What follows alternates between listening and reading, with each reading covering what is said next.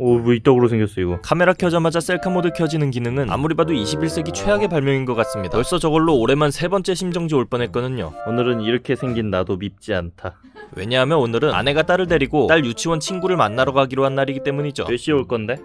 5시? 5시?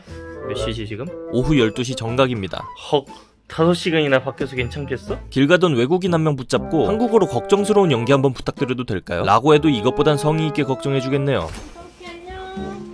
잘 갔다 오라 도어락 잠김 소리가 고리관을 타고 두뇌에 전달되기도 전에 몸이 먼저 움직이기 시작했습니다. 일종의 유분한 마이야르 반응이라고 할 수 있죠. 주말에 집에 혼자 있을 수가 있게 됐다는 생각에 흥분을 감출 수가 없나 보네요. 컴퓨터를 키며 무엇을 하며 시간을 보낼까라는 즐거운 고민을 한창 하고 있을 때 딸과 아내가 돌아왔습니다. 취소됐어 예고 없던 비가 와서 약속이 취소되었다는 비보. 어 생각보다 담담히 받아들이네요. 아니네. 자, 준비한 김에 엄마한테 갔다 올까? 침착하자. 여기서 만약 신나버려서 격한 반응을 내보이면 되려 나 안 갈래 라는 무시무시한 결과를 초래할 수 있기 때문에 비가 오는데 가지 말지. 그러나 네가 가고 싶다면 가는 것도 좋다고 생각해. 라는 뜻을 내포하고 있는 문장인 비 오는데 괜찮겠어? 라는 모범 답안을 내놓아 줍니다. 자 같이 나가자 이번엔 방금과 같은 실수를 최소화하기 위해 직접 마중까지 나가 택시 타고 가는 모습까지 지켜보려 합니다. 비바람 부는 날씨지만 빠른 출발 이꼴 빠른 휴식이기에 다리도 작지만 쿨하게 포기해주도록 합니다. 어우 시원하네 라고 했지만 돌이켜 생각해보니 한국에 알래스카가 있었다면 아마 이곳이지 않았을까 싶은 날씨였습니다. 안녕 택시기사님 부디 목표 지점까지 제일 느리게 양보 운전 철저히 해주시며 최저 속도로 운행 잘 부탁드립니다. 이제 불안 요소는 사라졌다고 생각하지만 그래도 혹시 모르니 아내에게 잘 도착했는지 안부 카톡을 보내보도록 하죠. 뭐 아무튼 슬슬 배도 고프고 하니 요즘 살쪘다고 하도 뭐라 해서 통 못 먹었던 짜장면을 시켜 먹을까 합니다. 아니 뭐 69분이나 걸려 69분 걸리는 짜장면은 태풍 매미 때 이후 처음 봤습니다.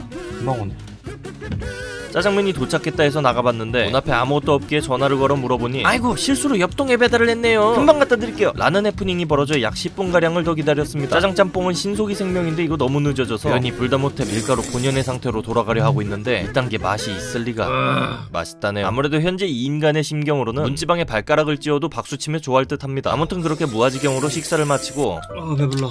배부르다 말함과 동시에 간식을 집어드는 배덕감을 알고 계시다면 당신은 저와 같은 뚱땡. 이제 간식도 다 먹었겠다. 안 먹어서 졸리니 한 잠 때리고 일어나서 치우겠습니다. 원래라면 잠잘 시간도 아까워서 놀겠지만 주말에 중국 요리 배부르게 먹어놓고 오는 졸음을 참으라는 건 고문이나 다름없죠.